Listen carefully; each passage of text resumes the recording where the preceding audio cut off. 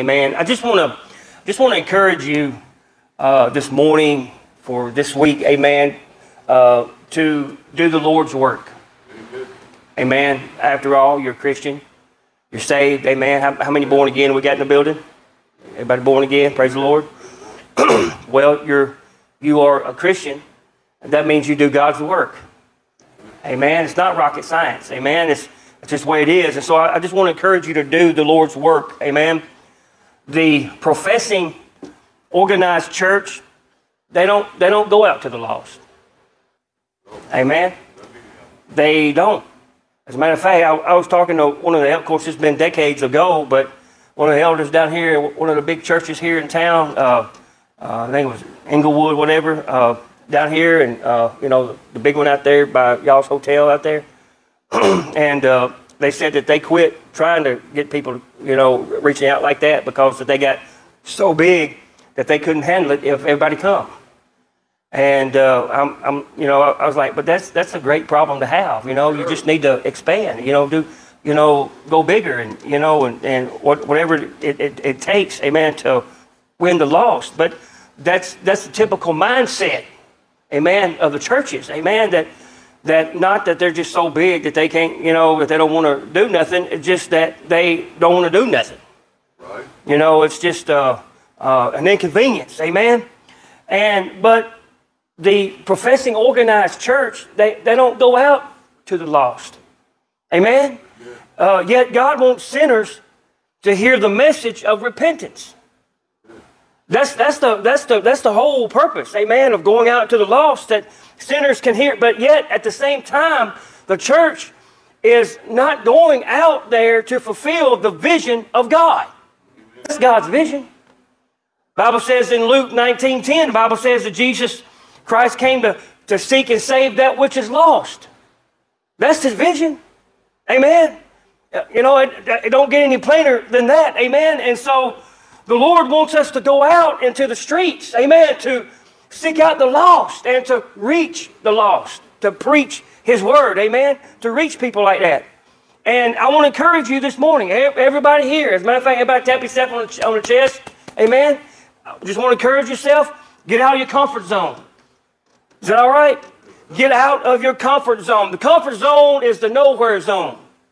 No man's land zone. That's, that's the comfort zone. Amen. And as long as you stay in your comfort zone along the way, then you're going nowhere with God. You ain't going nowhere with the Lord. Amen. You're, you're not going to grow. As long as you stay in your comfort zone, you're not going to grow. Amen. You're not going to understand doctrine. Amen. The Lord is only going to teach doctrine to those that do His will. The Lord is only going to open up doctrine and open up His revelation, amen, uh, to those that do His will. You can read the Bible and uh, you can get surface level understanding of how that things are, but I'm telling you that you will never grow in the mechanics of doctrine until you begin to practice what it preaches, amen? amen. To begin to practice it. John 7 17, the Bible says, If any man will do my will, he shall know of the doctrine. If any man will do my, his will, he shall know of the doctrine, whether it be of God or whether it be, or, or whether I speak it myself. And that, that was Jesus talking. That if any man will do the will, everybody say, do the will. Do, do God's will, amen, then he shall know the doctrine, amen. Just like you don't know nothing about the mechanics uh, until you dig around in the engine, amen. You know, I, I, I like, I like uh, when, when stuff happens, I, I, first thing I do, I go ask Brother Google, you know, or, or, or Brother YouTube. You know, I pull them up, you know, and, you know, how do you fix this? How do you do that? You know, and, and so I, I, I pull it up on there and I look on there and then, then I begin to, to kind of dig around in it and tinker with it and toy with it. Amen. And, and before you know it, it's fixed. You know, I'm like, I'm, wow, look what I did. You know, and, uh, you know, but you know, you can read books and you can watch the YouTube videos, amen. Uh, but yet, until you dig around in the engine and turn a wrench, you're not going to know how all that stuff fits together. Amen. And you won't understand why I said to do this in the mechanic book and why I said to pull this out first and do this first. Amen. When you get into to the engine, uh, then you'll see, you know, you begin to, to, to move stuff, you know, you're like, oh, you know, now I get it now. Amen. I understand that now. That's why they said to do that, because you start to practice what you learn. Amen. You read the mechanic books, and then you start to get into the engine, and you begin to learn, uh, uh, you know, why this part works together with this part, works together with this part, works together with this part. So you have to pull this off first and all this. And then you understand why the mechanic book said this. Amen. Said that you got, amen. Uh, it's because that you begin to practice what you learn. Amen. You begin to practice, put it into, uh, into existence. Amen. And that's how it is with the Lord, though. That's how it is with the Lord. When you start to practice what you learn in the Word of God, amen, then He begins to give you a deeper revelation. Amen. He begins to uh, uh, give you a, a deeper uh, understanding. He begins to give you deeper knowledge. Amen. Why? Because you humble yourself. That's why. You humble yourself. Amen. And, uh, uh, you know, you humble yourself in obedience and you begin to practice what the Lord teaches in His Word for you to do. First Peter 5 and 6. Humble yourselves, therefore, under the mighty hand of God, that He may exalt you in due time. Amen. That's what the Bible says. Humble yourself, therefore, under the mighty hand of God, that he may exalt you in due time. AKA, he will exalt your understanding. How about that? Amen. AKA, he will exalt your wisdom. AKA, he will exalt your revelation. AKA, he will exalt your boldness to be a witness. How come? Why is that, brother? Because you're beginning to practice what you've learned in the Bible along the way. Amen. Uh, Pastor, what are you saying? I'm saying it's because that you you're, you're beginning to step out. Is that all right? You're beginning to step out in faith and pray for people, and, and, and, and, and you're beginning to do evangelism and preach and reach out. Amen. So, because you're beginning to, to do evangelism and all that, you begin to learn the mechanics about evangelism, about how to preach and what to say and, and you know, what to, what to really worry about, you know? Amen. And God be- begins to teach you these things, and you begin to grow along the way. Amen. In your understanding, you begin to grow in your boldness to be a witness for God in a very big way. God will begin to exalt you in all kinds of different areas. Is that all right? And his hand will be in what you do. Amen.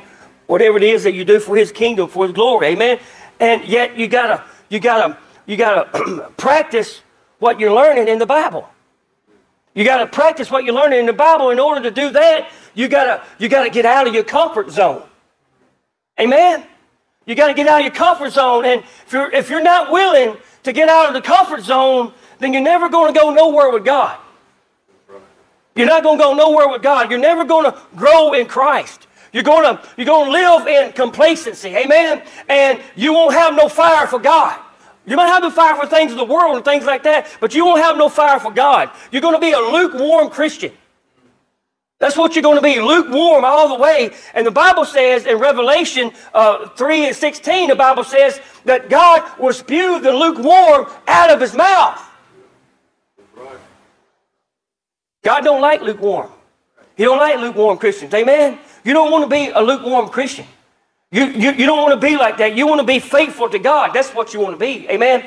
Uh, you want to grow in the Lord, but in order for you to uh, do that, you're going to have to take the step of faith. Amen. And you're going to have to begin to practice what you're learning in God's Word. The Bible says in James 1 22, Be you doers of the word and not hearers only, deceiving your own selves. Amen. Is it all right if I preach this morning? And, there, there's a lot of hearers only out there, though. Amen. There's a lot of hearers only living in self deception. Living in self deception. All they do is hear, and they hear, and they hear, and they hear. Amen. They hear the word. They don't do nothing with what they hear. Amen. They don't, they don't practice God's word. They don't witness for the Lord. They don't go and pray for people. A lot of people don't see demons coming out of people. Amen because they don't practice what they read in the Bible. They don't practice what they read in the Bible. They never come against demonic oppression when somebody's under demonic oppression. They never turn the wrench, so to, so to speak, you know, and they, they never practice what they read in the Bible. It never comes alive in their life. Amen, Brother Kirk, because they never do what it is that they learn, what the Bible says when they hear what the Word says. We have to be doers of the Word. Turn around and tell somebody doers. We got to be doers of the Word, not just hearers only, because that leads to self deception. That leads to self deception, guys. Amen. And a lot of Christians are just hearers, hearers only. And it's not the hearers that are justified, it's the doers. That's what the Bible says. Amen. That's what the Bible says. Amen. Romans 2 and 13. For not the hearers of the law are, are just before God, but the doers of the law shall be justified. Not the hearers, but the doers. They're the ones that will be justified. Amen. As James 2 and 17. You know, people say, well, all you need is faith, brother. All, all you need is faith. Faith alone. Well, okay, here's you some alone faith. Are you ready? Here's you some alone faith right here. Y'all ready for this? James 2 17. Even so, faith, if it hath not works, is dead being alone. There you go. There's you some alone faith right there. People talk about oh, only faith alone. Faith, no. you know, faith alone is dead. It's dead. Amen. And, and, and because why is that? Because it's alone. They don't have works with it. Amen. And so we can't say that we really have faith yet without works. We can't say that. We can't really say that we believe the Lord, yet we're not being obedient to what He told us to do. Amen. Jesus said in Luke 6 and 46, Why call ye me Lord, and do not do what I say? So when you really believe in God, amen, you have you have real living faith, is what I'm saying. Amen. You're gonna you're gonna be you're going to begin to practice what that you've read in the Bible, amen, because you're, you're, really, you're really beginning to believe, amen. And yet you got dead faith if all you do is hear the word. You can, you can read the Bible till you're blue in the face, even pray till you're blue in the face, amen. But just hearing only, amen, and not doing it, amen, that's, that's dead religion. That's dead, that's dead faith, amen. And you're not going to do anything. Amen. You're just only hearing only. Amen. You uh, you don't never witness to people. You don't never get out of the comfort zone so that you can grow. Amen. Guys, listen. That's the only way that you're going to grow in God. That's it. That's the only way you're going to grow in God. Amen. You got to get out of the comfort zone. Amen. You got to get out of just being a hearer only of the Word of God. Come on, somebody. Amen. And, and, and, and becoming a doer of the Word is what I'm saying. God is no respecter of person. God is no respecter of person. There's no special anointing to do God's work. Amen. God, God, is, is, is wanting a willing heart. That's what He's wanting. God's wanting somebody that's willing. Amen. It ain't got to be great and wonderful and all that. Oh, he just he just great. Brother love. He just no no guys. He's not wanting the great. Amen. All he's wanting is a willing heart. Amen. And that's what he wants. He just wants men that are willing to serve him. Amen. And and and, and just are, are you know he, he he wants men who are willing to humble themselves. Is that all right? And who just say, Lord, I just want to learn and I just want to grow in Christ. I just want to learn to grow. Men and women who say, I want to do your will, God. That's that's who he's looking for. Amen. Just like Isaiah 6 and 8 says, I bring it up quite a bit, but you know, he says, Here, here, uh, here, here I am. Lord, send me. I'll go. Amen. I'll go for you. Now, guys, I'm preaching here this morning. I'm saying that that's the heart that God is looking for. That's the heart that he's looking for. He's looking for the willing heart who says, Here I am, send me, I will go for you. Amen. That's what he's looking for. Amen. I want to speak for you. I want to, I want to do your will. Amen. Yet you have to be willing to step out in faith. Amen. Be willing to, to divide your time up. Amen. You know, you got to work. Well, get up a little bit earlier. Amen. And pray sit before the throne of God. Amen. And but I'm just saying that you got to be willing to step out in faith. You got to be willing to take a step of faith. Amen. And be willing to do what you're learning from God's word. Do what God's word tells you to do. Amen. You got to be willing to become a doer of the word and not just only a hearer of, of the gospel. Amen. And so I want to, you know, just let that push your buttons this morning. Amen. Let that, let that affect you this morning and motivate you this week. Amen.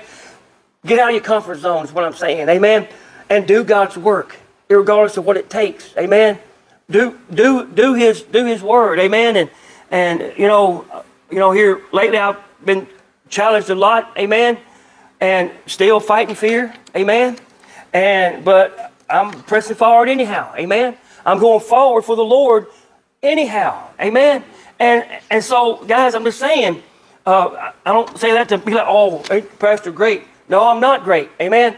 I'm just saying that you got to get out of that comfort zone. Amen.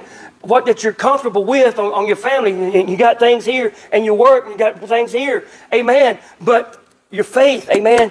This book tells you to separate that. Amen.